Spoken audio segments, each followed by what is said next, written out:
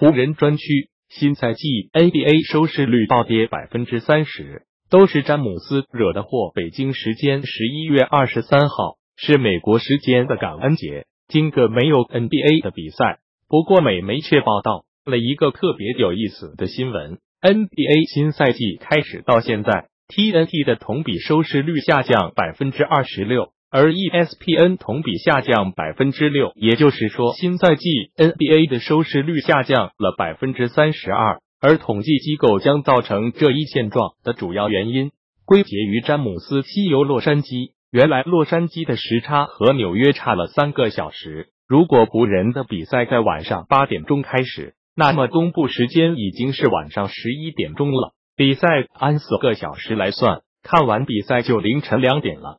不是非常狂热的球迷，怎么会熬到这么晚？毕竟大家还是要工作的。可以看得出，詹姆斯是 NBA 全美收视率的保障，他的一举一动确实牵动着太多东西，不光是联盟的格局，还有球队之间的利益。如果詹姆斯退役了，联盟会不会开始赔钱呢？我想至少会少赚好多。当然，收视率下降不光是詹姆斯一个人的问题，还有就是观赏性越来越低了。新赛季，肖华极力推崇小球风潮，球队得分动不动就是一百四十分，两队合起来二百六十分，这种比赛偶尔来个一次就够了，多了真的没什么意思。篮球还是有防守的好看，不光老一辈的球员觉得没有防守了，现役球员也公开抱怨防守已经消失了。以前是群雄卧顶总冠军，现在呢，除了勇士好像找不出另一个球队。好的球队越来越好，